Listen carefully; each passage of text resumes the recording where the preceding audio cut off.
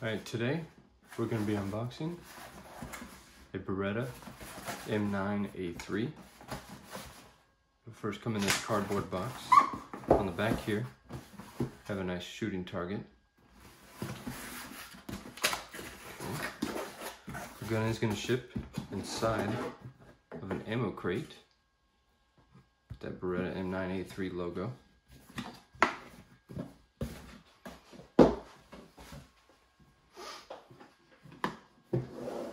Have this latch on the side. Open it up like that. Alright. This gun ship with three stainless steel 17 round mags. These are all Beretta made mags that are manufactured in Italy. And have these black followers on the top black uh, floor plates.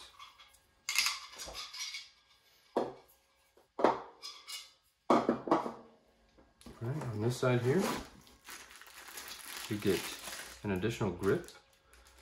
It's got a nice rubber texture with some dot texture on the side there and on the back strap. Get your Beretta branded lock. Inside here, get all your documentation, a few other extra goodies. So first, gonna get three additional O-rings. We'll go over what those are for in a minute. Nice M9A3 sticker that is black and FDE. Get your M9A3 manual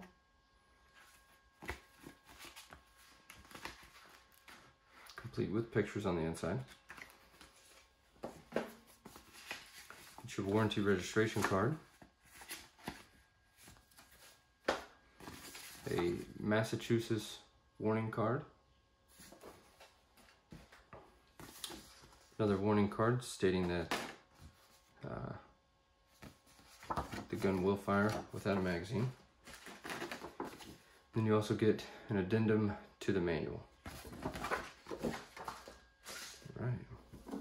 Check out the gun here.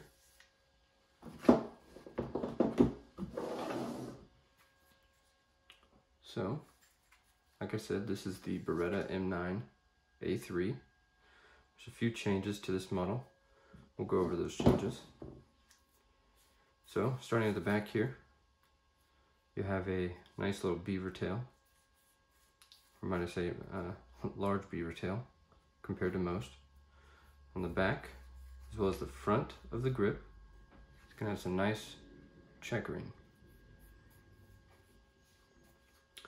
The grips on the side also have some checkering, as well as that dot texture that we saw on the on the rubber grip here. Okay, this is a single action, double action gun. I'll show you that it's safe. So, single action, double action means you can pull the trigger, it will pull the hammer back and fire, or you can pull the hammer back and fire in single action. Uh, give you a much lighter trigger pull. So, the safety also acts as a decocker, meaning if the hammer is back, the safety is in fire, and you put it in safe, it will send the hammer forward. First few times you do that, maybe you may be a little bit scared because uh, that hammer just goes forward, but there is a, a safety bar that does come up. So, as you can see, the safety is a ambidextrous safety.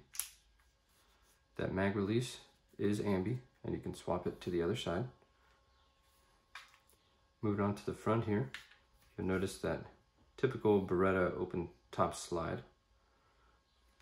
And then the sights, these are tritium night sights, rear and front.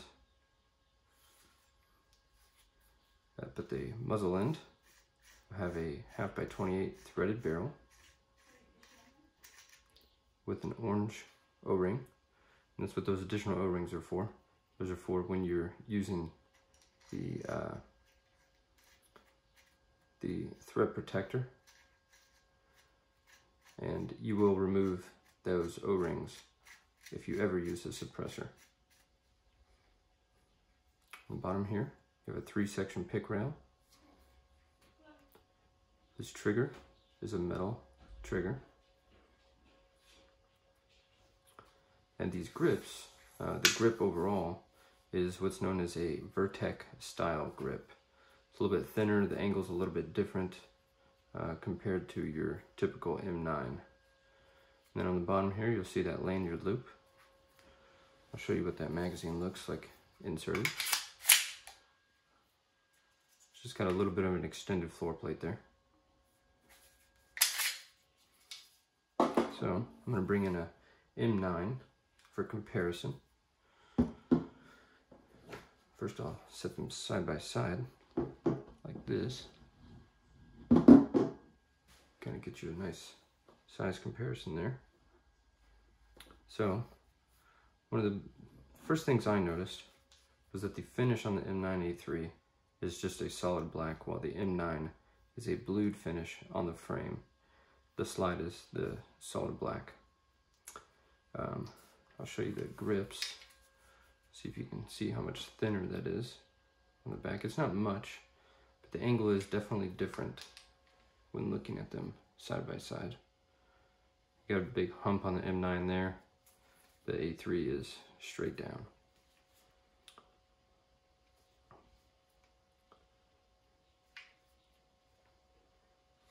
Also on the M9, you do not get that pic rail on the bottom.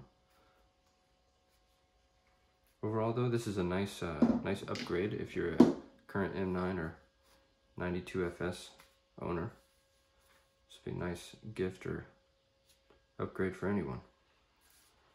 You do have a round chambered indicator right here. It's going to flip out and you'll see that red on the side.